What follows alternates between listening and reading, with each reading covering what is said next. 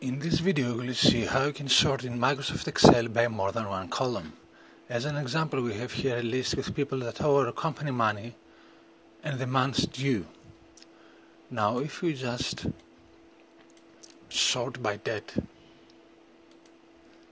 as you can see here, if you have two same entries in the debt column,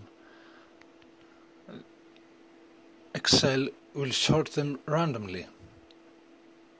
Now let's say we'd like to sort by first by the debt column and then by the months due column. Select it and from the data tab click on sort. First we'll sort by debt, largest to smallest, and then we'll add the second level, then by months due, and we'll set it from largest to smallest and as you can see here if you have two same entries in the debt column.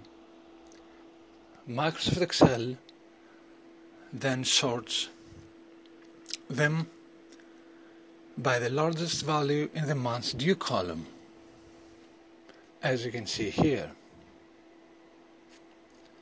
As you can see here Susan King and Jake Orange are the same amount of money but Susan King is more months due her payment, so she's on top of the list above J Current.